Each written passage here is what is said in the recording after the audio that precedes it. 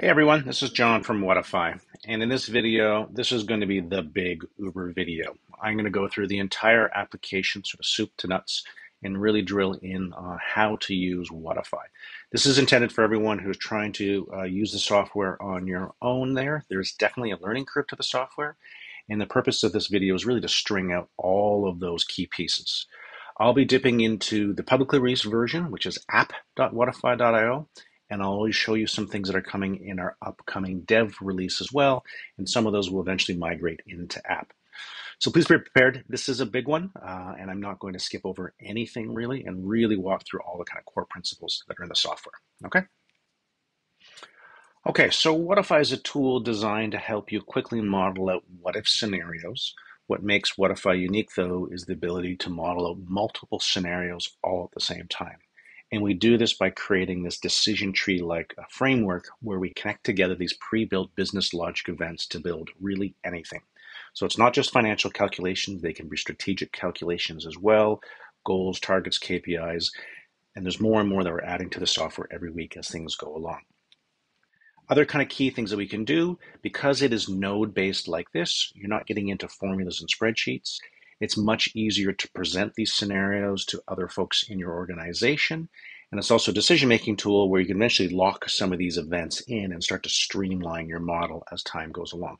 So, really, we're like Excel meets uh, any kind of node based software, but we're in the multiverse all at the same time.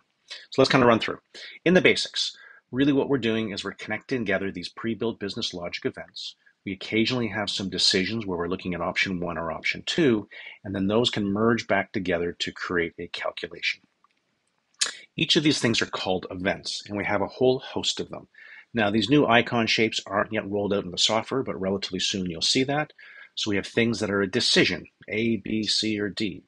We have the ability to import information in from other services. That could be an integration with something like QuickBooks or Xero. We're integrating a piece of software now called ShotGrid, which is really big in the visual effects and television industry. Salesforce, HubSpot. Eventually, you'll also be able to get Excel and Google Sheets integrations here as well. We're pulling data into our system. Goals, being able to measure and calculate KPIs, for example. We have events here where you can manually add in information like customer counts, we have events that can do a transformation, like a growth event. And then we have a very unique set of events called modifiers, which I'll get a little deeper into as we go. But modifiers are really like our what if event that allow you to try out scenarios without having to change upstream values. How you connect these events together really, really matters. In some cases, when those events are just transactional, this minus this plus this, the order of these really doesn't matter. If I put an expense before a transaction or after employees, it really just all adds up together.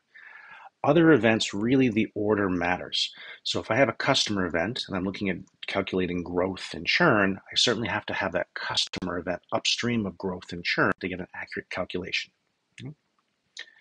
Other things. Within each of these events, you can have multiple records, or sometimes I'll interchangeably call them entities that sit inside of that. So if I have all my employees, I can have 5, 10, 50 to 200 employees that are all nested within that event, all with their own parameters. If I'm looking at calculating something like growth, I can have a growth event and I can create different sub uh, records inside of that to try out different calculations, like a high growth, a low growth, or a variable growth. Integrations. So as I mentioned, there are some integrations that are coming along, whether it's QuickBooks and Xero, which we already have, but I also give you the ability to import things in from a CSV file. So for example, right now you can bring in a profit and loss statement from a traditional accounting report there and will automatically generate events for you based upon those. It's all about getting information into the system as quickly and as easily as possible. Key concept here, this is a thing called threads. So depending on how you connect all these building blocks together, Every unique path through this canvas here really represents a unique thread, one sort of iteration of the multiverse. So here, this is a thread. There could be another thread that runs through here, another thread that runs through the bottom here. So there's multiple threads that exist in a scenario, and we've had clients with you know hundreds of scenarios that are all running concurrently. Decisions.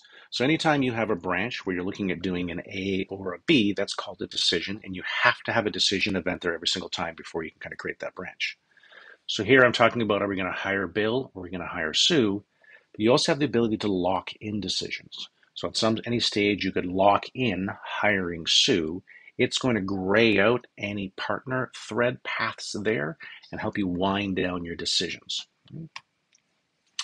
Time. So this is a key thing that Whatifi does very, very differently. So in Whatifi, we keep track of our calculations over time. So if you're familiar with any editing software, we make it very easy for you to think of these as existing on a timeline, where each of these events has a start date and an end date, and you can slide those around on a timeline. The other thing that's very different is you can also apply some of these transformations over subsets of time. So for example, maybe I've got 30 employees and I want to start calculating 20% growth in my employee account starting on a given date. And you can create these relationships that are there. It's very different than a spreadsheet. Spreadsheets are calculations first, and then you're trying to figure out how to apply that to time. Ours is the opposite. You start with time and you put a, uh, uh, an event and calculations on top of that timeline. Time is the first sort of dimension that we keep track of. And then there's an account structure. So again, back to a spreadsheet, and I know I'm beating up on spreadsheets, but in a spreadsheet, if you have a value or a cell, that is a number, but you have no idea what that is. The only way you know what that is is that the next cell over has a label to it. In our system, it's more like a traditional accounting package where all of this information exists in a nested system. So if you're familiar with profit and loss statements or accounts, you might have income and then different types of income and then sub income or you might have expenses and then operating expenses and then expenses that are nested under that. But we take that further, and anything in our system is an account. So if you are in a visual effects company where you have artists, there may be different types of artists and then even sort of different delineations of that. And you can take the same logic and apply it to customers with different customer cohorts. You can apply it to different types of employees in different industries like construction and different types of contractors that are there. So everything is in this account structure, and that's really important because that means we can manipulate data at different levels, and all of those calculations roll up through those levels for some really, really powerful calculations that we can do.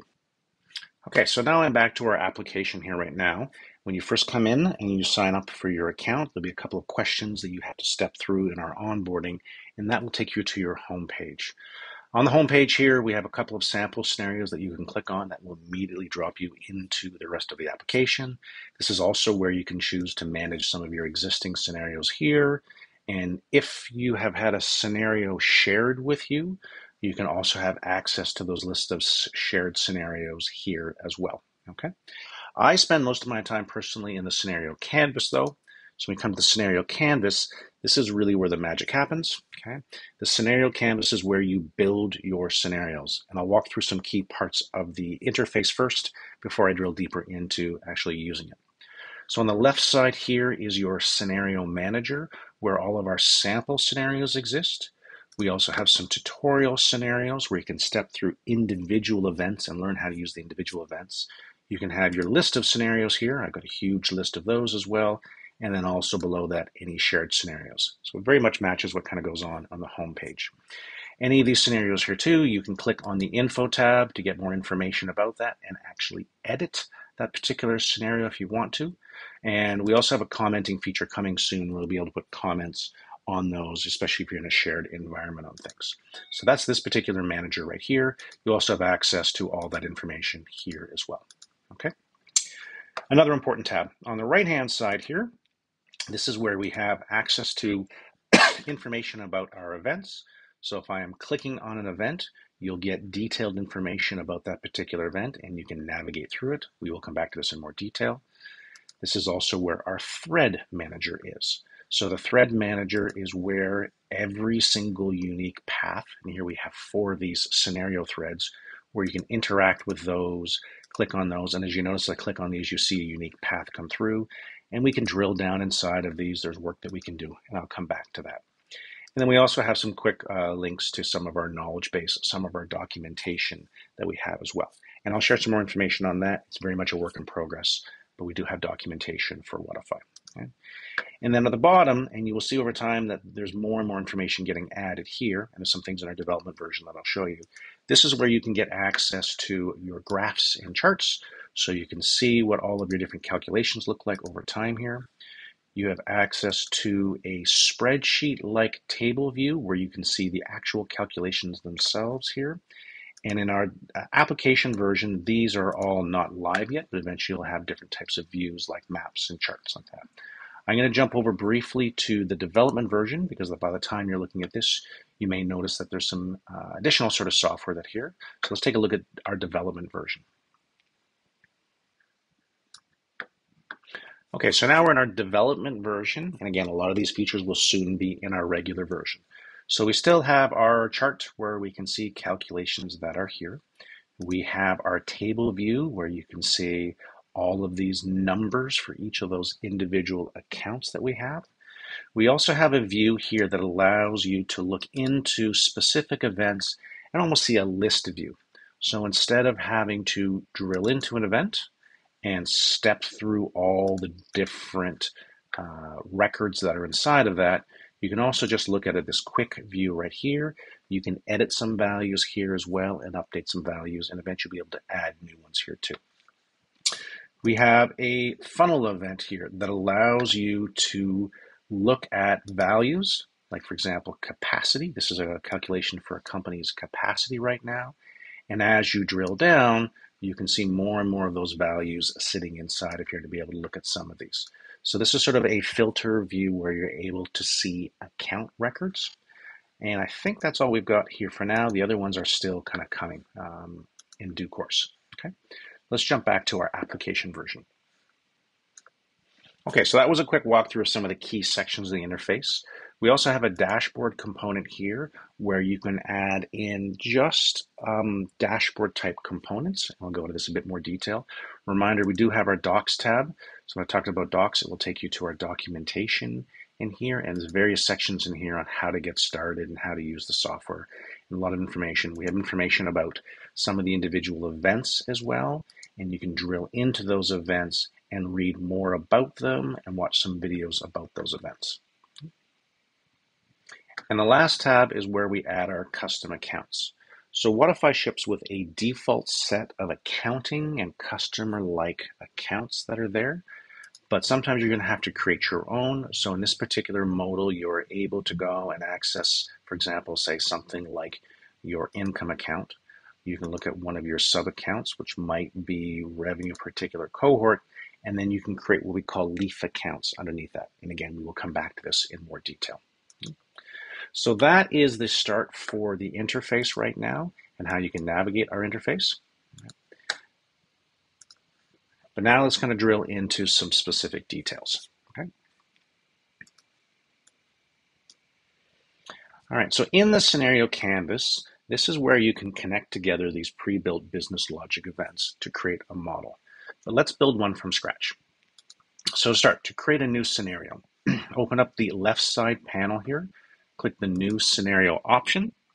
And you can build your custom scenario and we have a few templates and there'll be more templates coming. Let's call this uh, custom uh, scenario one. You can give it a subtitle if you would like to. The key values here are important though. You have to give it a name and you have to pick a start date. You can have this scenario always having today as the current date. You can have the scenario always having the beginning of this month as the current date, or you can set a custom start to it. I almost always have a custom start date, but that's up to you. And there we have a custom start date of October 1st. I think today is October the 3rd, right? The scenario range is also something that's important here. The longer the range, the longer it takes to calculate, but let's do a two-year scenario here. And I could do a, an example here, right? This is an example scenario, okay? You can also set the inflation rate. We all know that's a lot higher right now. Let's say 5%, which becomes a default for the entire scenario. okay? So I'm going to add that in, and that creates my blank scenario here. And here I have my start event. These are where the calculations begin. Okay, so let's start building our first scenario. To access any events menu, you left click on the event and this menu pops up. All right, so you can lock an event, you can bypass an event, you can edit an event, you can copy an event, and once it's copied, you can paste that event, you can delete an event, and then you can also create connections as well. The most important one here, though, is this icon right here, which is your append an event. Right? So that's going to be the first thing we're going to want to do. I'm going to left click on this, And this brings up our option picker. Okay. There are two categories that really matter here. There's the default options where the majority of our events live. And there's the utility events where we have some specialty ones uh, that exist here. So let's start with a, a fairly basic uh, default event. Each of these categories has uh, different events inside of them. The basic events are things like debit, credit, income, expense, banks, and loans. We have some specialty ones that are really targeted towards business. So, for example, customer and growth and churn, website visitors, how you create customers and how you grow customers to build some of those calculations. Very, very soon, there is going to be a capacity module here in that capacity module, you can look at things like staffing and projects and actualizations so that you can build very accurate forecasts for hiring and layoffs and staffing plans. Okay. So let's start by picking a very basic event. Uh, the most basic one we have here are debit, credits, income, and expenses there. A lot of these events have the same sort of functionality. We've just wrapped a UI around them to make them easier to use and easier to understand. So really, fundamentally, almost any uh, transaction we do is a debit and a credit where you're adding to something, you're taking from something. That's the most basic. But let's start with something that we can all recognize, which is an income event. So I'm going to click on income. You see a little panel here that pops up and explains the event a little bit and how you might connect some of these events together. As a reminder, sometimes the order of the events matter and sometimes it does not. And income is one that most of the time it does not, but we'll find some edge cases here. Let's proceed. If I click proceed on this particular, then I come into the edit details menu. So I'm creating an income event. And inside of that, we can create multiple records or entities inside of that event. So if we just call this uh, income streams, maybe at the top here, and let's say this is some monthly recurring revenue, MRR. You have the ability to pick the cadence. So this is a monthly value that's coming in. And maybe historically for this particular company, they're generating $1,500 a month. By default, we are assigning this income to the income level here. But you can, in theory, kind of go in and we could apply this to different cohorts. We can create some of our own here. I can show you how to create some accounts in a little bit. But for now, I'm just going to assign this to, uh, there's a lot of information I have here uh, from other scenarios. I'm just going to create a revenue account here. Okay, so I'm going to use this. The default contra account, this is kind of getting into accounting principles. If I'm increasing my revenue, then I also have, a trans have to have transaction for cash, because in theory there's cash coming into this company. So this is going to be our default contra account, and you can change where that goes if for some reason, whether it's accounts receivable or something like that. There's a start date.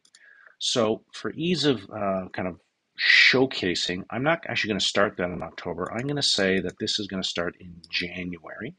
And right now, this is going to be ongoing revenue. Okay, so I'm not going to set an end date to it. And I'm going to click Fill and Add. So what we should see here is we should see our $1,500 starting in January, month over month over month over month. So where this varies from a spreadsheet. In a spreadsheet, you may put $1,500 in every single month, dun, dun, dun, dun, dun, dun, dun. Here, you just have to fill that value at once, and we automatically ripple that out over time until you choose to make any changes to that. Okay, so there we have our $1,500. If we had an end date to this particular one, so let me just show you how to do that. At any particular stage, you could click and you can click edit to bring this menu up, or you can also good old fashioned double click on it to bring this menu back up here. And now let's set an end date instead. So let's say this revenue is going to run until August of 2024. When I update this event, now you're going to see we have revenue coming in month over month over month. So that's sort of step one. Okay? Step two, let's add a second income stream. Okay, so I've got one record here, $1,500, and I can add a new entry, and we can call this, you know, maybe there's something like this, which is a, a one-off, um, you know, whether there's an event or something there where there's going to be a single spike in revenue here. So here I'm picking a one-time cadence, and let's say this is something like $50,000, all right? That is also going to be income. I can assign that to anything that I want to. Here I'm drilling down a little bit deeper. So maybe I'm assigning it to Toronto revenue. And again, these are things that I've created inside of my account. So your account will not have these. I'm going to create Toronto revenue. And I'm going to say that this particular revenue is going to happen uh, April the 17th. I'm going to say update. So now you should be seeing both of those, the $1,500 and the spike happening here. And then that money um, uh, runs out here. So this is our graph view down here. Let's talk about the graph view very quickly. Any particular stage, you can expand this up if you want to be able to see more. I'm left clicking and moving around inside of my canvas here to be able to see things a bit more clearly. We're in our monthly view right now, so I'm seeing this revenue month over month over month, what it looks like. At any particular stage, I can swap to cumulative. So instead, I'm now seeing the aggregate of those month over month over month over month. Okay. Uh, we also have the ability here, and this is where that account structure is really important, to be able to bubble up to this view different types of views. Now, as we add more calculations here, this gets a little bit more interesting, but off the top right now, I've got cash flow, calculated equity, and I've got profit. And you notice that they're all exactly the same here because we really only have an income calculation. But I can click on this other accounts button, and depending on which events I've added, those events will create automatically for you more types of accounts that are here so this list can grow. So for example, right now I could click on income, right, and say add, and now I'm going to have the income account that's available to me, which again is looking exactly the same. But if I want to, I can also drill deeper down. So I can drill down into my income, and now you can sort of see that I have different streams that are available to me. So if you recall, I had the Toronto revenue, and I think I had assigned here, yeah, I think I assigned it at this particular level. So I have these two accounts nested at different layers. Then a reminder income, and here I've got revenue, and then I've also checked Toronto revenue, which is nested under other income. And I'm going to add those. And now these are available to me. So I could also look at just my Toronto revenue. Or I could also just look at my generic revenue. Okay. And those all roll up and add together to represent my overall income. Okay. So hopefully that makes sense. So this is our account view. So just a reminder, click on other accounts and you can drill down and track all these down. At any particular stage, you can also favorite one of these. So maybe you're particularly interested in your Toronto revenue. You can favorite that revenue and it's going to show up in your favorite accounts here. And you'll always have access to that in your scenario. So you're not always digging around to try and find various accounts. Okay. So we've got that. All right. So what have we done? We have added an income event, and within that income event, we have added two events. So let's take that one step further now, and let's add an expense, because that's how business works. So again, I'm going to left click on my event. I'm going to bring up my menu that I have, but I'm going to click on this plus button, and I'm going to append another event after that. I'm going to left click on that one. It brings up my menu. Same thing here. You can also have recently uh, uh, used and favorites in here too, and you're able to bubble some of those up there. Let's add an expense event. An expense event is very, very similar to an income event. Uh, I'm going to show you one different tab in here just to kind of keep things interesting. We're going to use an amortized expense. So instead of saying I've got this expense month over month over month, let's say instead here we're going to have an amortized expense. This is where I start talking about some of the unique things we add to some of these tabs to kind of mirror how real business works. So maybe we have an amortized expense. Uh, we're purchasing something and we're going to be paying for it over, say, six months. So let's say this is a monthly purchase. Maybe it is um, $90,000, but it's an amortized expense. So I'm going to click on my amortized tab. And I'm going to be amortizing this over a period of six months. We do the calculations for you to take that 90,000 and divide it up by six. And right now we're assigning this as, as an expense. For the accountants in the room, you may want to be drilled down inside that expense. And maybe you're looking at this being, you know, some other type of expense in here, whether it's a cost of goods sold or an other expense. We can nest some of these inside here. Uh, even though this is incorrect, I'm just going to put this as an operating expense right now uh, on this particular level. And this event is going to start in December. Okay. So again, here now I can say fill and add.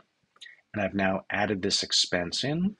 So if I look at my cash flow, we should now see that we have both money coming in and money going out in this particular model. Okay. Uh, how is it easy to find all of this? Well, you, again, you can click inside of these events and see what's inside of it. But you can also, especially if you're in a presentation mode, you can open up your right side panel here, click on this top icon, and now when you click on an event, it'll bring up a bit of a snapshot of the information that's inside of that. So as a reminder here, we had our $1,500 a month value here, and we had our one-time 50,000. Or if I'm clicking on my expenses, I can see more information about that particular expense, start and end dates. So this is a view state only here. You also have the ability to perform some operations here as well. So there's always more than one place to do some of these uh, calculations as we get a little further into the software. Okay, let's add another expense. So much like I said, you could add a new entry there. If you wanted to, you can also duplicate any of these particular tabs. So maybe this is amortized expense number two, and this is something that is uh, $45,000. This is going to be amortized bi-weekly over a two-month period. It is also an operating expense, but this doesn't happen until uh, August of that year. So now what we've gone is we've added a secondary expense in there as well, also amortized inside of that. Okay. What the software does is every single day it steps through these events, looks at the dates and says, am I calculating or am I not? All right. So steps on the first one, am I calculating, am I not? Through all of those events that are inside of it. If it's calculating, it adds that information to a JSON blob, gets to the next one, calculates that, adds that information as well. And then by the time it gets to the end of the scenario for every single thread, it then sends that whole bunch of information off to AWS behind the scenes to perform a whole bunch of complicated calculations and then returns all of the account values back to us. So we have entities that generate what we call context. That context gets calculated day by day by day. That context gets sent to be calculated, and those calculations return the account values for each of those accounts. So that's how our software works under the hood. Right? This account data is what we're sort of seeing down here. Reminder, we've just added some expenses. So let's bubble up our expenses here too. I'm going to click the expense account, and now we can also view expenses here as well. There's some of the stuff that we've been amortizing over time. Okay. All right, and I think, let's just do one little double check. Yeah, amortized over two weeks. Let's actually extend that out to be amortized over eight weeks so that we're actually spreading that payment out a little bit further. And now we're seeing that money spread out a little bit more realistically. Okay. All right, uh, a few things you can do at this particular stage. All right, um, you can at any particular stage, if you want to, click on an event, and you can temporarily bypass anything inside of that. All right. So you'll notice now from a cash flow point of view, we've taken out all of our income because we've temporarily bypassed this event and it's getting ignored. You can click to turn that back on again. Same thing here, you can do that. And a reminder even up here, if you wanted to, you could also bypass that record here. We've taken all the expenses out and now we're bringing those back on. So you can do that on an event by event level. If for some reason you need to, you can also click into an event and even inside of here, you can do that on a record by record basis. So right now our one-off expense is calculating. If you want to, you can bypass that and make it inactive as well. So if I click on this, all right, while the haven't deleted the information, it is no longer calculating. So when I update, you'll see that big spike in income that we used to see is no longer present. We can come back to our income stream, reset that to be active by clicking on that. It's now active again, clicking update, and we should see that income spike here again. Okay. One other thing I want to be able to show you, um, you can also ins insert events. So at any particular stage, you can hover along your line here, and maybe for some reason we want to insert an event here. I'm going to left click on this. It brings up a smaller menu This is a menu where you can uh, paste, you can break some connections, although we have some rules on when you can break those connections, or you can also insert an event here. Here I'm going to pick again one of our most basic events, which is a debit credit event. Uh, and in our debit credit event, really, really rudimentary, you can have you know transaction number one. You can pick whether this is a debit, a credit, whether it's an ongoing expense or an amortized expense, like we just sort of saw. We can pick our frequency, so maybe this is something as quarterly. It's $25,000. You can pick a start date, we can let this run in perpetuity, and then you can pick which account you want this to impact. So let's say we are impacting something like other expenses here right now, okay? And then when I say fill in add, right, it has now added that into our calculation. So this is now repeating over time every quarter.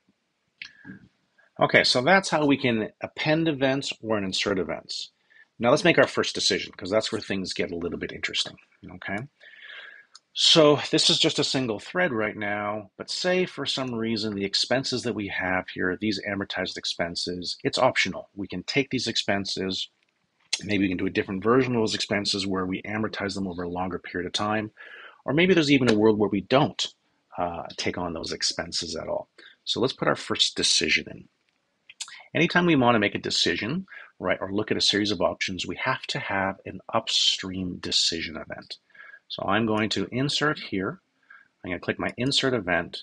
And now I'm going to go to my utility events and I'm going to pick a decision event. Okay, decision event really is a placeholder here. There's no calculations that happen, but it clearly delineates when there's more than one option at that particular stage. I'm going to click proceed and I'm going to have my decision here, and we can label this. This is our amortization uh, decision, and I'm going to add. All right, so now I have that. So step one, there's a few things that we could do. I could click on my expense event if I want to. I can copy that event. I can left click on where I want to be able to branch that from. If I was to click here and say paste, it's going to get inserted between those two. If I click on this event, and go to say paste, it's going to branch this event. So I'm going to branch that event. You have two options here. I almost always recommend the left side option here, which is creating a full duplicate that is independent. There's no relationship between those two. You can paste events that are linked.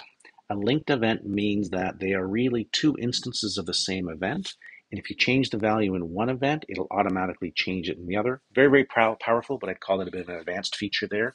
And there's some caveats to when you're using that. So for now, let's just do a paste duplicate event, which is the recommended one. And now we have a second event. And you'll notice in here it has all the same values, all the same information, but we can make some changes. So let's say instead this is going to be amortized over 12 weeks for this particular event, right?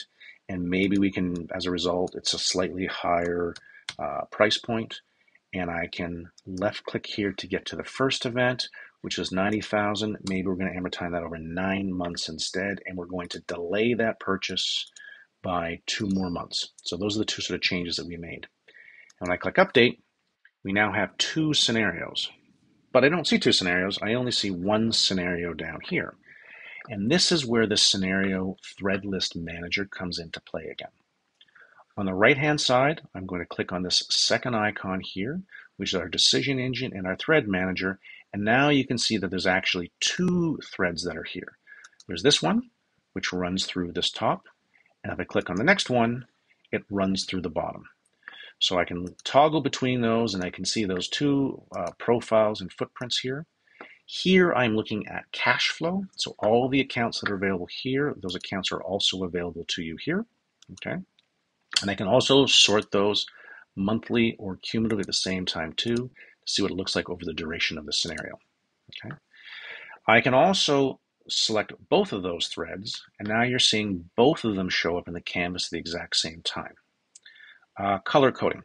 You'll notice that there's a blue color here that correlates with this blue color here. There's an orange color here that's randomly generated that correlates. And as we add more scenarios, there are more colors there. So that is the relationship between those two. Same thing here again, monthly or cumulative. I could go to cumulative and I can see what both of these patterns look like over time. Okay. One more best practice, especially when you're looking at a scenario and there's a potential default scenario, which is to do nothing, that's where I like to use the null event. I'm going to left click on my amortization. I'm going to now you'll sort of see there's the ability to branch an event.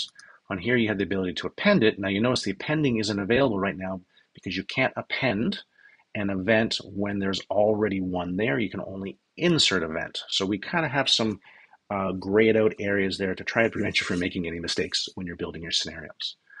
So I'm going to left click on my amortization decision. I'm going to branch an event from a utility event. This is where you can find your null event. A null is basically a do nothing type event. Uh, this is sort of a specialty one. I'm going to click on my null event. I'm going to click proceed. Um, you can just really argue. We can argue this is uh, do nothing, uh, for lack of a better term, and dropping it in. And now what you'll sort of see is we actually have three scenarios that are all playing out here. If I select all threads, we can see all three scenarios, the two where we make those purchases and the one where we make no purchase at all. So that's the beginning of our decision-making tree. Let's talk about navigating our UI up here. So these events and this uh, scenarios can get quite large. Relatively soon, we're going to have the ability to click a bunch of events, group them together, and collapse them. So the interface won't be quite as cluttered.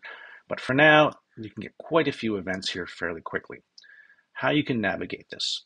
You can select this button here to automatically frame everything inside the canvas, especially if things kind of get off canvas. You can do that. You can also plus and minus. There's also hotkeys here as well.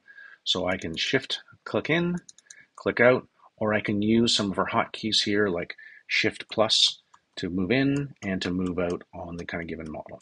Okay, so let's frame that up again. So we have these three scenarios that are here right now. Okay.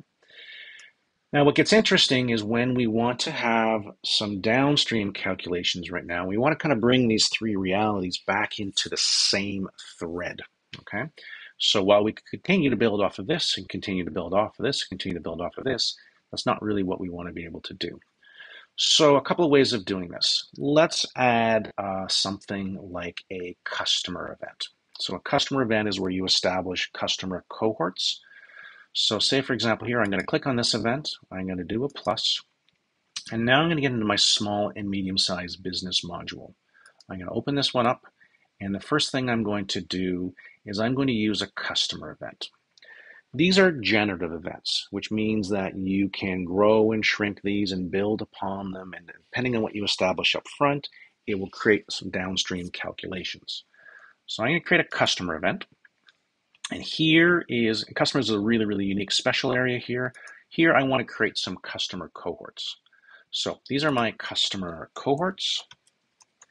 And I'm going to create one called uh, cohort uh, A right? And I'm going to say, I'm going to initialize the value for this customer cohort. So maybe today I have uh, 1,500 people in this particular cohort, all right? And I'm going to duplicate this one. I'm going to create another one called cohort B, and maybe cohort B has uh, 4,000 customers that are in it effective today.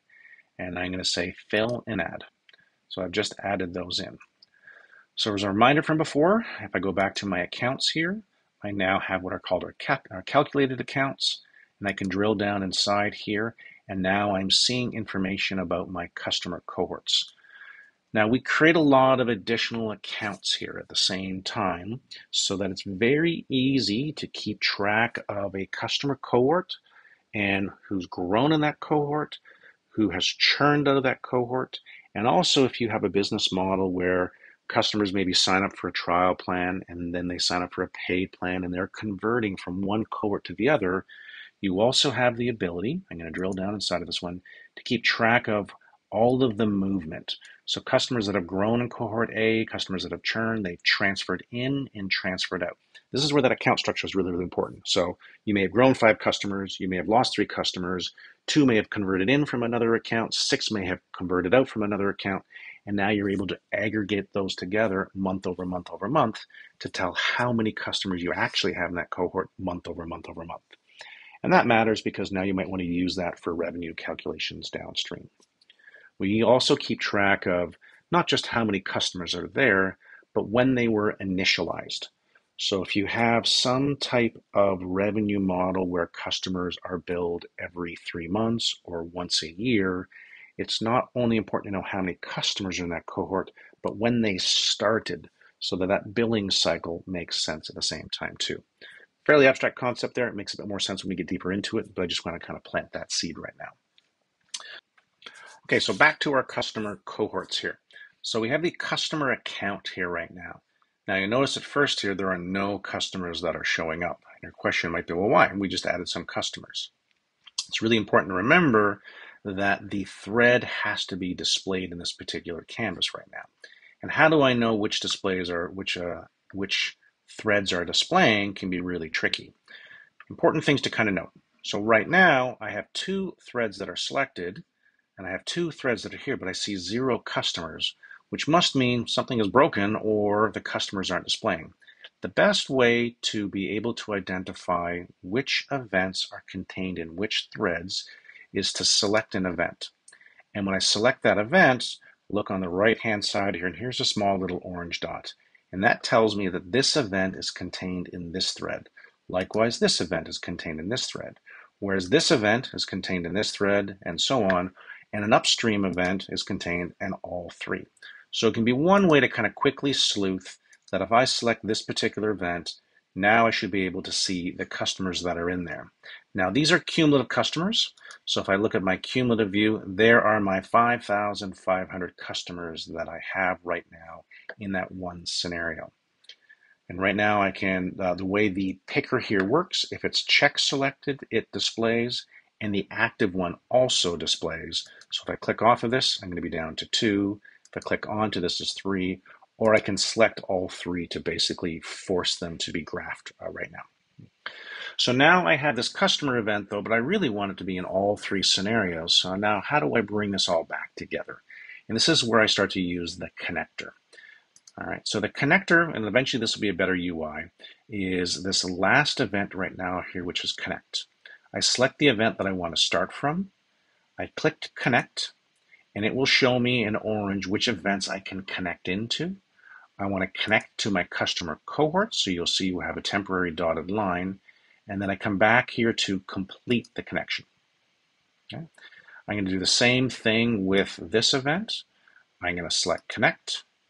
I'm going to select on my customer cohort, and I'm going to come back, and that's connected. And now you will see that depending on no matter which scenario I'm in, which thread, I have my 5,500 employees because they are all contractors, sorry, customers, sorry. And now you'll see no matter which thread I'm in, we have our 5,500 customers. All right, next up, decisions. So obviously you can build and build upon this one, but at some stage there, you may want to lock in a decision. So as a team, you may be deciding that we're going to go with this particular scenario here, right? We have our three threads. You can choose to lock in an event. So I'm clicking on this lock event. It is going to lock in everything here. You'll notice these other two parallel threads get grayed out right now. And now I'm back down to a single scenario. At any particular stage, I can click that to unlock that one and kind of get back to my multiple scenarios all at the same time. So that's kind of really the basics of how we kind of start using the software.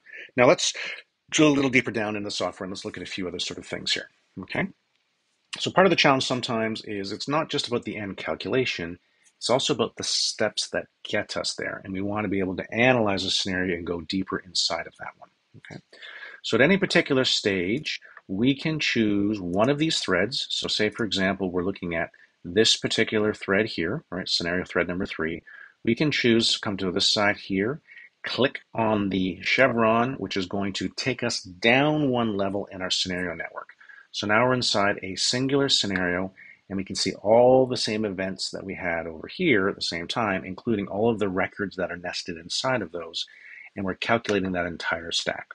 So I'm going to go back to something like cash flow here. So we're watching this entire cash flow. Okay. Now, we can choose to step through this calculation event by event by event. In default mode, we're seeing the entire calculation, but if I go to something like cumulative mode, the active event is what's getting calculated. So if I click on our start event, you'll notice there are no calculations here. And on the side, we have this icon that says this is where we actually are. If I click on the next event, debit credit, now I'm adding in my debit credit calculations, whether that's monthly or cumulatively. So we're sort of seeing that step one. And you can also navigate this over here as well. You can use this to kind of step through. If I click on the next one, now I'm putting in my income streams. So now I'm seeing my income streams, then my amortization decision, then my expense, right? And then my customer cohorts here. In this particular lens, because we're looking at cash flow, customer cohorts don't do much. Now, maybe you want to understand, okay, great, I understand the values here. And those are some big numbers. I want to be able to look at some of these individual steps along the way to understand how they contribute to our calculations. And that's where individual mode comes in. Now I can click on any event in here and I'm seeing just those calculations. So now I'm seeing just my monthly debit credits or just my income here or just my expenses here. So you can start to understand those on their own. Okay but we can drill deeper still, right? So maybe if I'm looking at my income streams, I want to be able to look at those two income streams in greater detail, right? Because these income streams represent something, but if I didn't know how the scenario was built and I'm trying to show somebody what these income streams look like, this can be a bit confusing. So if I can go and I can drill deeper down now. So again, I'm going to left click on this again, and now I'm inside of that event.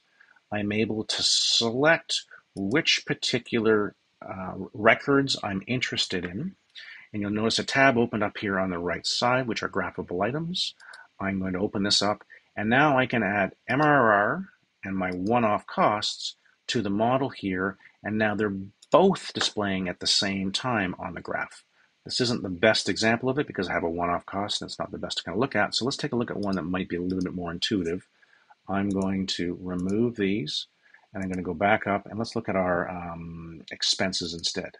So I'm looking at amortized expense one and amortized expense two, same sort of thing. I'm going to graph those right now. And now I can see both of those on the chart at the same time. And sometimes you can get some very interesting sort of analytics about what your expenses look like when you're able to see them all against each other. So what have we done? We've taken all three of our scenarios. We've drilled down inside of a single scenario We've been able to sort of step through those events one by one by one. And in a world where there are multiple records inside of something, we were able to drill down inside there to look at a bunch of those at the same time. And just to be clear, you can drill down into multiple events to be able to do that.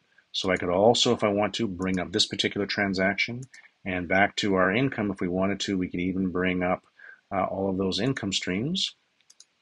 And they're all available to us here now to be able to compare against each other all at the same time. So we can really start to understand some of the nuances of our business and where some of our money is coming from and where it is going to.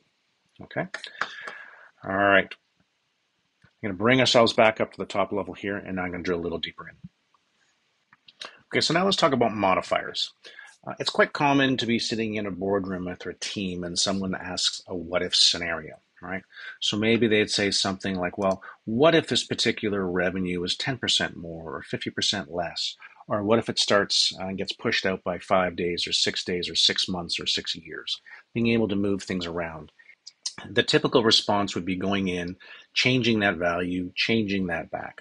You can do this particular scenario where you start to break it into separate sort of threads, but we also uh, give you the ability to perform a temporary modification of an upstream value in one or more threads. So let's kind of drill into that a little bit more. Let's say we want to play around with this particular income stream. I'm going to start by adding in a modifier, which is under our utility events, and I'm going to select modifier. Right. The modifier gives you the ability to influence an upstream event and change one of those values over a fixed period of time.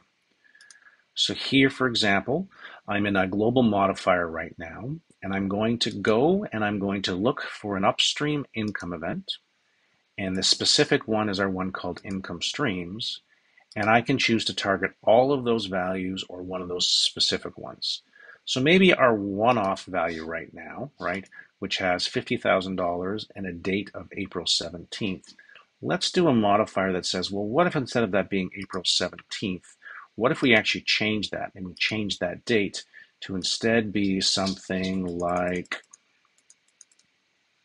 June 26th. So now what we're doing is we are changing that value in that one particular event. And what we'll see, if I add this back in right now, is we can see, if I go back to my cash flow right now, that big spike has moved from June, right? Now reminder, if we want to see what it looked like before, I can bypass this and we will see that that big spike is back to being in April, or if I put this modifier in, we've temporarily modified that right now. Now we've modified that for all of our scenarios because it is in line right now, but we could also, just like we did with the null event, I can add in a decision here. And I could add a null event.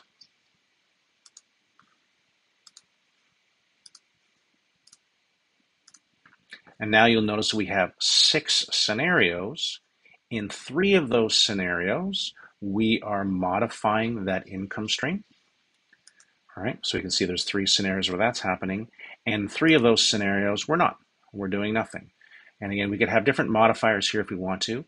Now keep in mind, you can also stack modifiers. So you can, by that I mean, we could take this particular modifier. I'm going to copy it. I'm going to paste it it's going, and I'm going to duplicate it. So now I have a second modifier here. But this time what I'm going to do is instead of changing the income, I'm actually going to change uh, the amount uh, of that one. And instead of that being 50,000, I can add to the value, I can change the value, or I can multiply the value. So here I'm going to change it to be uh, $40,000. And I'm going to add that. So now those two have stacked. So not only has it shifted in time, it's also less now as well. All right. Modifiers, there's way more we can do with modifiers. You can modify start dates, end dates, values, percentages, growth. It's really a super, super powerful event, but that's just sort of a sneak peek on how that particular event can kind of work. And just like always, if we need to bring these things back together, I can put another event downstream here. And that's a good time to talk about placeholders. Maybe sometimes you want to build the framework of your scenario very quickly first and then come back and fill in the blanks. So at any particular stage, you could go and you can put in a placeholder event right now. So maybe there's another debit credit. I'm going to proceed and I can select add now, fill later. So it's going to drop in a placeholder event here. I'm going to connect these back together. Right. And then I can come back to this whenever I'm ready to to fill it in. So it's there, it's not calculating right now, and there's a red uh, border around that to let you know that's the particular sort of state there. Again, we're down to six particular scenarios. If we were to lock something in, let's lock this particular piece in. Now we're down to two scenarios, one with the modifier and one without the modifier.